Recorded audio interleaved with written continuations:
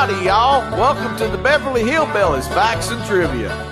Y'all kick off your shoes and you set a spell, alright? Now here's your host for the show, the old Kentucky boy himself, Mr. Bob Snapp.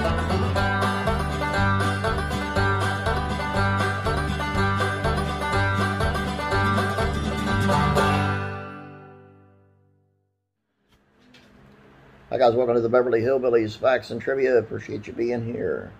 Today's video is on um, Uncle Joe Carson from Petticoat Junction and uh, how he kind of give you the difference between Beverly Hillbillies and Petticoat Junction, who had the same creator, by the way. Take a look. Both Petticoat Junction and the Beverly Hillbillies were similar in a few ways. They were both produced by Paul Henning and included rural characters. Although the Beverly Hillbillies was based on Henning's past experiences camping in the Ozarks, Edgar Buchanan believed that Petticoat Junction was more realistic. Buchanan played Uncle Joe Carson, the guy who was supposed to help Kate Bradley and her daughters take care of the Shady Rest Hotel. Instead, he was always he always thought of schemes to make more money and bring in more visitors.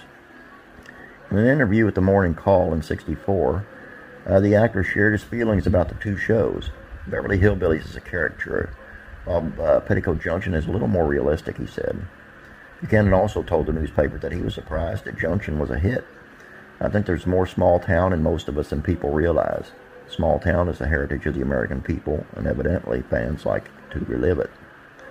Our viewers saw Uncle Joe Carson as a troublemaker. Buchanan saw him as a simple guy who wanted the hotel to thrive. Joe is like, it's a little simple, he added, with his plans to give hotel class his heated swimming pool, his elevator that doesn't work, his telephone without wires. He's a bumbler, and he's no cynic. The article also talks about the nature of the characters in each show. Petticoat Junction had little conflict because the characters are basically all good. While in the Beverly Hillbillies, there was always something going on, and Granny, for example, had no problem calling it out. There were still no major conflicts in either series because the focus was rural comedy. They weren't dramas.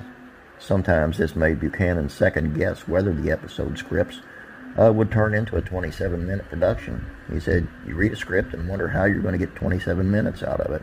And you do, and the show becomes out fine. Always loved Uncle Joe, and always loved Granny from the Beverly Hillbillies. I always thought, put them together, you could have had something really good. Don't know why they didn't. Uh, maybe they had planned to. Who knows?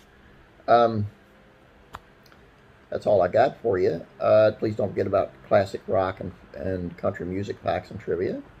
Uh, head on over there. If you have a problem getting the uh, link in the description below, let me know. Hit me up in the comment section and I'll send it to you. Uh, please subscribe while you're over there. Have a great day. God bless you, and I'll be praying for you.